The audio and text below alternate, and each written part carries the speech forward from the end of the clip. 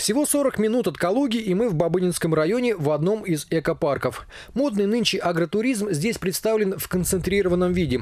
Небольшие домики для любителей рыбалки и уединенного отдыха. Рядом каскад прудов с самой разнообразной рыбой и обязательной баней на берегу. Спортивная и детская площадки, коттеджи для больших компаний или семейного отдыха. Для желающих приобщиться к живой природе небольшой скотный двор и птичник. Отсюда, кстати, берутся и свежие продукты для местного ресторана.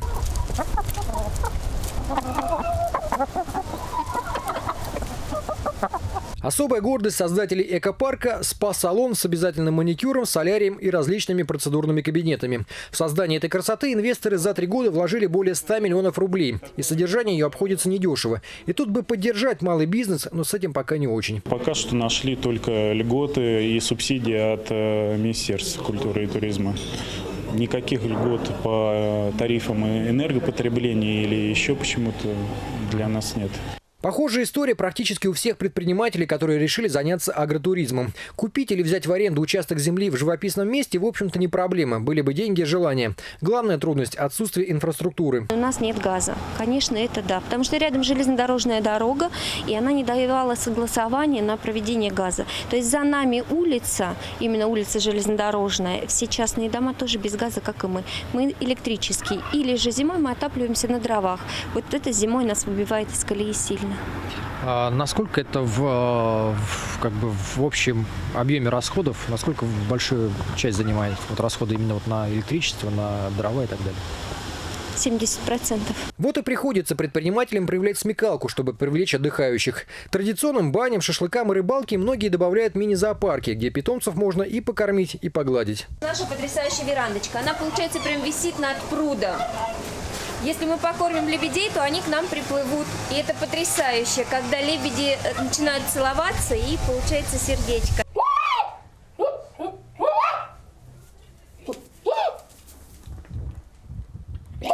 В среднем подобные базы отдыха рассчитаны на несколько десятков человек. Правда, пока заполнить все места получается редко. Но прирост клиентуры налицо. То ли санкции дают о себе знать, то ли у россиян проснулась патриотическая сознательность.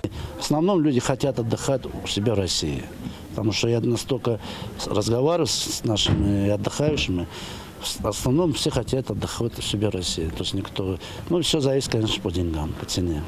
Вот. Я всегда вступаю, вот, им всем нравится. Это люди, которые несколько раз у меня были, они возвращаются по-новому. Несмотря на трудности, агротуризм набирает обороты. Сейчас в Калужской области около 120 баз отдыха, экопоселений и экопарков, готовых принять почти 70 тысяч человек. Региональное министерство как может старается поддержать своих подопечных. Одна из мер государственной поддержки – это выдача субсидий. Также э, на базах э, объектов проходят различные мероприятия, которых мы анонсируем. Также э, у нас есть сайт, на котором размещены все эти объекты. А еще чиновники задумались о создании агротуристического кластера. Владельцы хозяйств идею поддерживают. Оно и понятно, сообща выживать проще. Но самые большие надежды владельцы этих мини-гостиниц возлагают на жителей крупных городов, задыхающихся в каменных джунглях. Людям просто хочется отдохнуть. Им нужна тишина от этого шумного города, от э, э, ну, как вот, от суеты. Они просто хотят отдохнуть, хотят быть в компании. Банька же для этого существует. Ну, ну, я не знаю, что. Хотите в лес, ходите, на природу, ну, отдохнуть есть где. Здесь очень хорошо. Пусть к нам приезжают, скажите. Сергей Крабков, Леонтий Ким, Владислав Никоненко, телекомпания Ника ТВ, Дзержинский и Бабынинский районы.